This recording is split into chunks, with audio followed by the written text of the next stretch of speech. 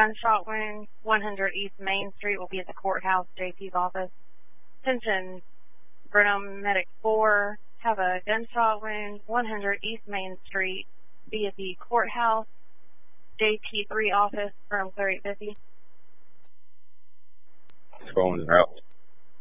in route, dog one. EMS two's en route. Did this just occur, or has this been uh, someone come in with it? Uh, walked in with it, has paper towels to control bleeding at this time. It was accidental. Cleaning is done. 3103, bro. 103. What do you have at the courthouse? JP3's office, accidental gunshot wound. That's clear.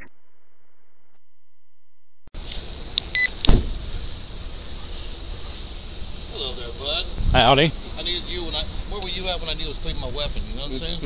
or making sure I was safe in the courtroom. At my desk doing uh, reports. Yeah,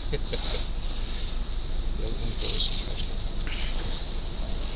trash. How bad is it? It's pretty big. It went in like here and then came out up here. Okay. Or did it go in like that? Or it could have, yeah. Well, maybe it didn't. Know what it is with a Glock 40. Okay, when you pull back, okay, I dropped everything and, and I was trying to get the thing open again because I was having issues with it. And uh, when I pulled back like that, it says pull the trigger after. Mhm. Guess what? Left it around the chamber. Uh, okay. Well, you told me, but since you're not able to write a statement for me right now, Yeah. tell me in your words, and I am recording. okay. Tell me exactly what happened. Okay, I was uh, sitting on my on my desk. Okay. And you are Kenneth J. Tofel. okay. Eight seven five. Dumbass. That's fine. Okay. Sixty four years old. Yes, sir. Four five one zero eight zero Dumbass. I was uh, sitting on my desk, and I usually bring my weapon in for uh, when I have court, Okay. just in case. I was uh, attempting to replace the batteries on my my red light on my pistol. Okay. Uh, not familiar with that weapon. Okay, I was pulling it back.